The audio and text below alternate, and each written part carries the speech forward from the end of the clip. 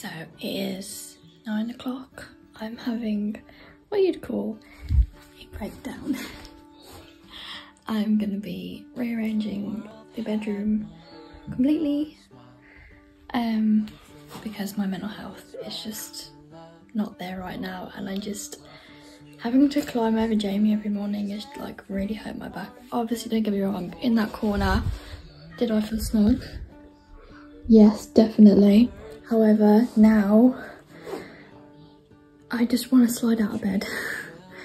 and I just, I don't like my desk being right by the door.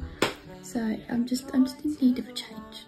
So yeah. This is what we are currently dealing with.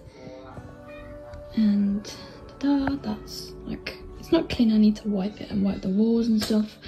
But yeah, those are gonna have to be moved as well over there, which is gonna be fun.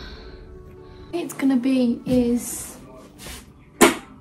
the bed is gonna be instead of facing head toe, it's gonna be head there against the back wall and then facing this way, which is how we originally had the bed.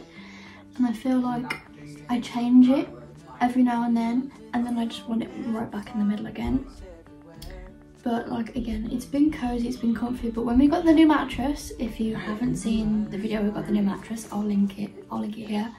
Um, it's a foam mattress and the top corner where i sleep i'm not very heavy compared to jeremy. Jeremy's actually a lot heavier than me um because he's like full of like muscle and bone. At the top of the corner where my where like I sleep curves upwards and he's really heavy and has made somehow like this cool nice flat dent. I'm on a slope when I sleep and that's it's not fun. It's really not fun.